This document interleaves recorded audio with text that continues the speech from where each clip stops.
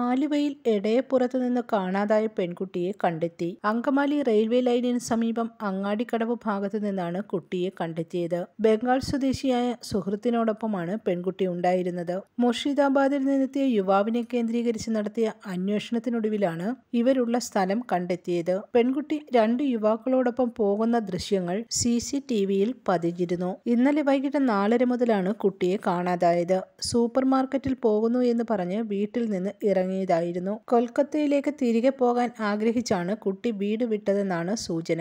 ഇതിനായി സുഹൃത്തിന്റെ സഹായം തേടി രണ്ടു മാസം മുൻപാണ് കുട്ടി കൊൽക്കത്തയിൽ നിന്നും കേരളത്തിലെത്തിയത്. News desk press Malayalam.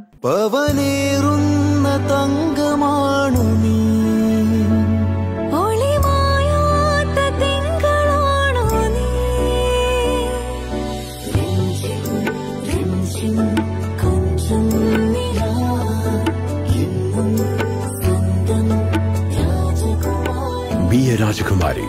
Rajakumari Gold and Diamonds. The trust of Travancore. Rajakumari.